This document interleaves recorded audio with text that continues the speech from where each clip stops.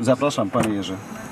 Próbuję pana zaprosić i próbuję pana przedstawić, bo myślę sobie, pewnie pan o tym wie, że zawsze jak dzieje się coś złego, to y, jest pan obiektem memów. Wszyscy mówią, jak już Dziewulski coś komentuje, znaczy, że złe, że, złe rzeczy się dzieją, nie? Tak jak na przykład ostatnio po Sztokholmie. Dzień dobry, panie Na wszystko Dzień dobry państwu.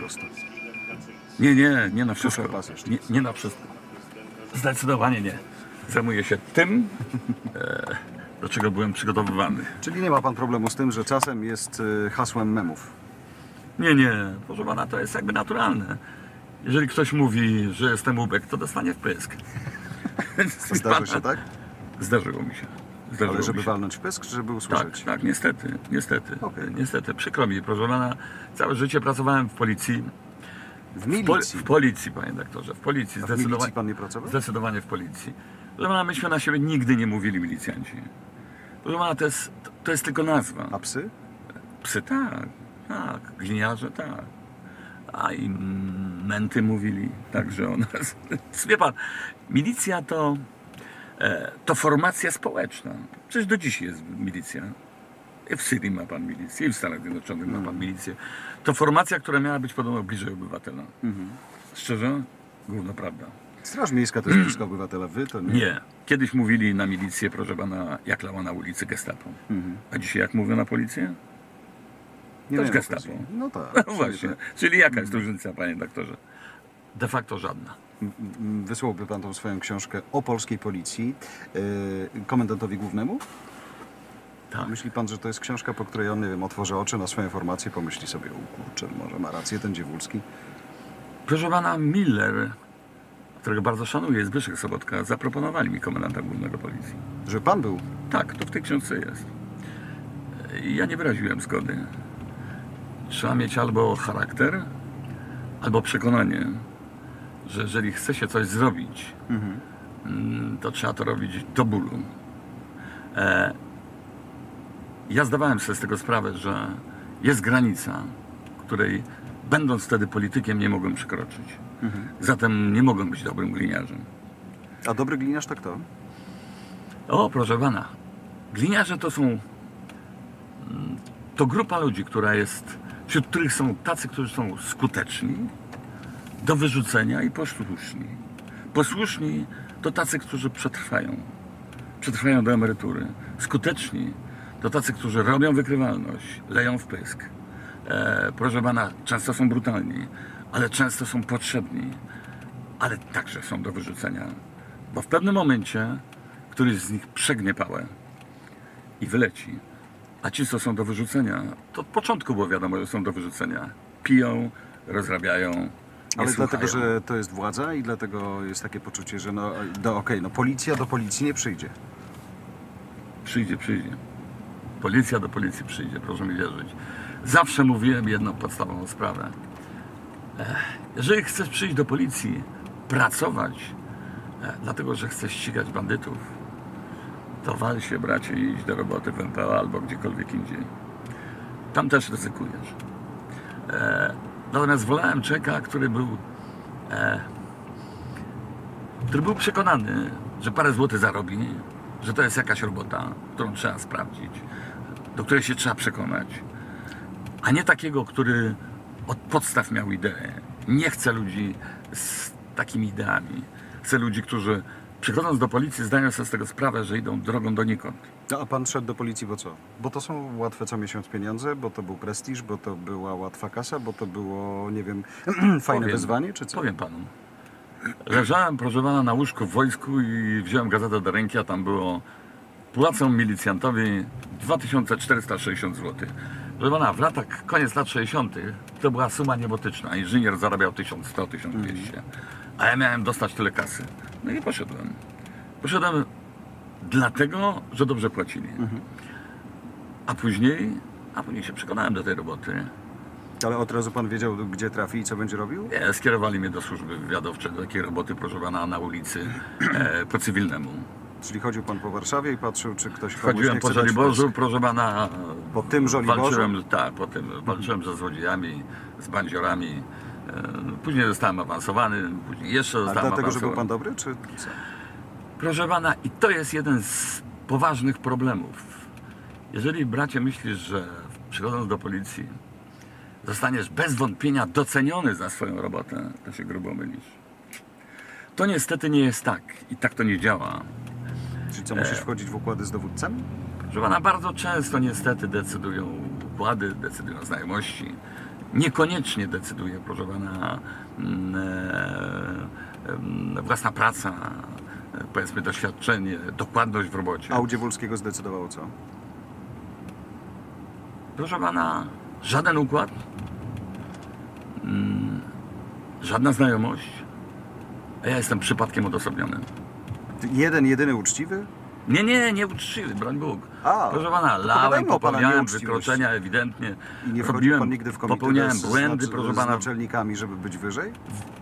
O, wie pan, tak Bogiem naprawdę, gdyby nam się udało dokończyć wszystkie mm, moje konflikty, e, opisując je w książce, bo to jest na razie Mhm. tylko jeden element mojego życia, to bywało i tak, że kiedy siedziałem w samolocie, proszę pana, terrorysta na górze z kałasznikowem strzelał jak głupi, próbując rozwalać ludzi, kiedy przerzucałem tony walizek tylko po to, żeby się dostać do odpowiedniego przedziału, usłyszałem od w langofonie od generała, który dzwonił z jednej ze służb, mówi, towarzyszu, zróbcie to tak, tak i tak. Na co usłyszała, no to przyjdź i zrób to i pokaż, jak się to robi. I muszę panu powiedzieć, że uratował mnie wtedy Kiszczak. Ten Kiszczak mnie uratował, ponieważ no jakoś wyperswadował panu generałowi, żeby nie składał Zwolnił wniosku. Tak jest, co za tak to, że jest. powiedział pan do niego na K? Czy za to, że się pan mu sprzeciwił? Nie, przede wszystkim powiedziałem mu, żeby, jeżeli taki cwaniak jest, to niech przyjdzie i pokaże, jak to się robi. A to Bo kiedy- gadał głupoty A po kiedy pan prostu. poznał Kiszczaka? Że on w ogóle kojarzył, kim jest y, Dziewulski, jeden z wielu policjantów. Kojarzył, kojarzył, bo musiał, proszę pana, ponieważ oni mnie spisali na straty w pewnym momencie. Wie pan, trzeba było w latach 80. pokazać takiego faceta, który, który nie kojarzy się z takim milicjantem, wie pan, e, no niekoniecznie zawsze dobrze wykształconym na ulicy, więc powiedzmy sobie jasno. W związku z czym, kiedy była pierwsza wizyta papieża, to wtedy mnie sprzedano. A więc no, doszli do wniosku, że trzeba pokazać w końcu takiego człowieka, który, e, który no, nie kojarzy się z, z, z, powiedzmy, z prymitywnym milicjantem. Tylko co jest inteligentnym Tylko, że, Jamesem nie, że coś robi, że coś, nie, nie daj Bóg James Bond, nie, nie, nie znoszę tego. E, e, że jest kimś, kto robi inną robotę, taką niepokazową, powiedzmy, a niezwykle istotną, a niezwykle skuteczną, jest tak, profesjonalistą, a nie amatorem. o, powiedzmy to w ten Mhm. sposób. No i wszedł taki, proszę pana, film e, o, o dwóch jednostkach antyterrorystycznych, które przygotowywane są do wizyty papieża Jana Pawła. II, pierwszej w Polsce. No i po tym filmie już poszło. Czyli pan po prostu wybił się przez aktorstwo. Tak?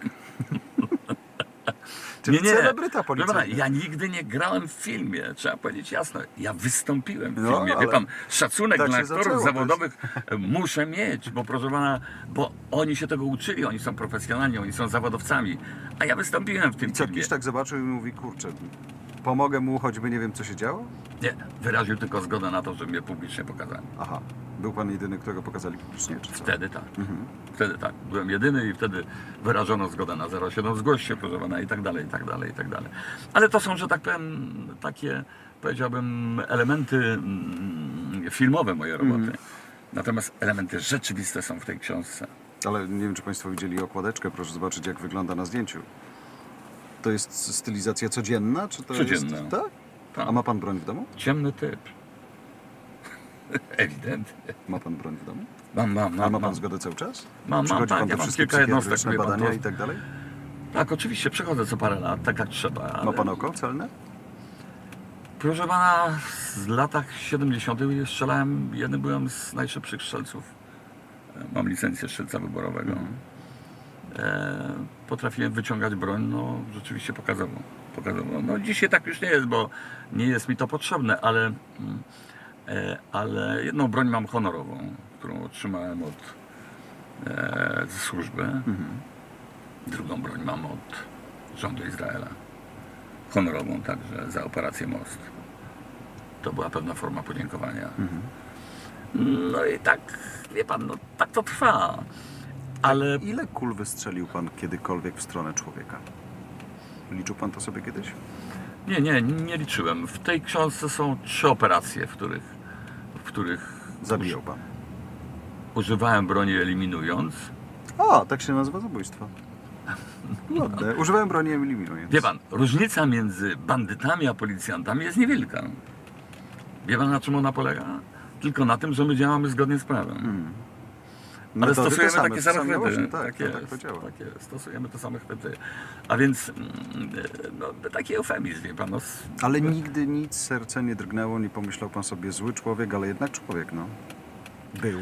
A, klauzula sumienia, panie doktorze. Na przykład, O, no. proszę pana, ja namawiam Jak policjantów. na... i, i, klauzula Ja sumienia. mówię, no panowie, no stosujcie także klauzulę sumienia z prostej przyczyny.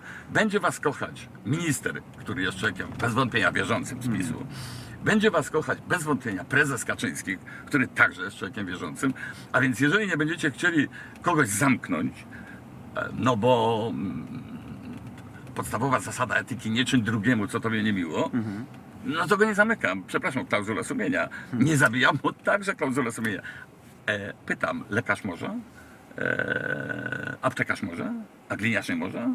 Może stosować. Może, powinien. A więc no. panowie policjanci, popiszcie się chociaż raz publicznie. Zobaczycie, jak będą was kochać w narodzie. A potrzebował pan kiedykolwiek wsparcia psychologa po, po początkach swojej kariery, kiedy te kule jednak trafiały w... e, A nie wiem, czy to były początki, ale kiedy Nie, trafiały w człowieka? potrzebowałem, proszę pana, wsparcia lekarza, żeby ratował moje życie. Niestety go nie dostałem. I to był mój największy dramat, ponieważ e, po wybuchu granatu, proszę pana, w autobusie byłem ciężko ranny. Wylądowałem w szpitalu. E, w szpitalu leżałem na korytarzu, natomiast w salach e, tych, którzy leżą, chorzy leżeli prokuratorzy, adwokaci. Natomiast zwykły gliniarz, proszę pana, mógł leżeć na korytarzu, mimo że był ciężko ranny. Jak niezwykle, no bo rozumiem, że to był pan już wtedy w jednostce antyterrorystycznej, tak czy nie? Tak, ale to był 88 rok, panie doktorze. Wówczas już była e, Solidarność. E, no a niestety nas w szpitalu MSW, Solidarność MSW, traktowała tak jak, tak jak traktowała wszystkich gliniarzy. Słusznie? E, a czy ja lałem się z nimi? Nie. Ja lałem się z bandziorami. Zatem pytanie, czy słusznie? Oczywiście, że nie. Chociaż No, ale być może koledzy mogli wtedy zastosować już klauzulę sumienia i Mogli. powiedzieć, o nie, z Nie. tymi facetami się nie No zadaje. tak, ale pana koledzy z, y, w sensie z podobnej formacji, ale innej jednostki strzelali do ludzi, no, którzy jakoś specjalnie uzbrojeni nie byli, poza ideałami. Nie, nie, nie, nie, nie. Muszę panu powiedzieć, nie było takiej sytuacji. Ta formacja, która była w Wujku, to nie była formacja antyterrorystyczna. No nie, anty, no ale mm, no, no, zbrojna powiedzmy, tak? No tak, tak, ale nie używali broni. A na Pomorzu? Wiem, że to inne lata. No, No. inne, panie doktorze, to, to, to, to zupełnie inny świat, ale tam nie było jednostek antyterrorystycznych. Nigdy pan nie miał, bo, opowiadał mi pan, dlaczego pan poszedł. 2400 warto było wziąć, ale nie, nie wiem, czy miał pan kiedykolwiek kaca, że pan był gliną, został gliną. Nie, nie. Panie doktorze, miałbym kaca, gdybym robił rzeczy, które, e, no powiedzmy sobie, wątpliwe, polityczne. Nie zajmowałem się polityką. To nie moja sprawa. Problem polega na tym, wyobraźmy sobie sytuację, od taką, e, że po prostu nie ma milicji. Jaki świat byłby wówczas? Ile razy wzywano nas na pomoc, ile razy proszono o pomoc, ile razy, em, e, proszę pana, e, ryzykowali ci ludzie życiem. I tylko dlatego, a, a, a, a państwo dało im swoistą gwarancję, że przychodzą do tej roboty, dostają określone środki, dostają określone zaopatrzenie i to zaopatrzenie na emeryturze będzie trwać. Dostają dzisiaj kopa w tyłek. Tylko dlatego, że w nazwie mieli milicja, a w rzeczywistości robili to samo, co Pan dzisiaj tak ma robią. też, czy nie? Jak to jest z panem Ja emeryturą? Cofają, ja nie czy nie? Nie dotykają mnie. Nie, w ogóle. Nie, Czyli nie, ma pan nie. emeryturę? Mam emeryturę i będę ją miał z prostej przyczyny. Nie, nie ma w mojej służbie ani godziny pracy w SB, ani godziny pracy jakiejkolwiek innej formacji, która jest ujęta e, w tej ustawie. Zatem niech pan się nie dziwi w sytuacji, w której mówię, że załubę kawale w łeb. Dominik, niech ci się nie wymsknie, wiesz, bo wiesz co będzie. Tutaj nie Siedzę będzie. cicho. No właśnie, zauważyłem. Jak nigdy. To jest pamiętnik, to jest spowiedź, to jest po co to panu? Pan jest medialną postacią. Proszę pana, nigdy nie chciałem napisać książki i nie zmierzałem do tego. Dlatego później doszedłem do odpowiedziałem na wniosku, parę że, pytań w wywiadzie rzece. tak, że warto odpowiedzieć na parę pytań z prostej przyczyny, bo ludzie nie wiedzą jak było, jak było dawniej. Jaki był poziom relacji między milicją a przestępcami. Przecież kiedyś mówiono o tym, że do milicji przychodzi, przepraszam, tylko prostytutka i złodziej. Pan, no takie były, takie były skojarzenia. To, trzeba ludziom pokazać. Trzeba ludziom pokazać pewien poziom honoru wówczas gliniarzy i poziom honoru bandytów czy złodziei, bo oni mieli swoisty honor. Jaka była różnica między tym, e, między nimi, że nigdy nie robiło się za pobicie milicjanta, wywiadowcy, milicjanta kryminalnego, nie robiło się sprawy. Człowiek wychodził i- i robił ekspedycję, lał się z nimi na ulicy. To był wymiar sprawiedliwości, swoisty i swoisty honor. Jerzy Dziewolski, bardzo dziękuję za Dziękuję spotkanie państwu. i za rozmowę. Kłaniam się, panie doktorze.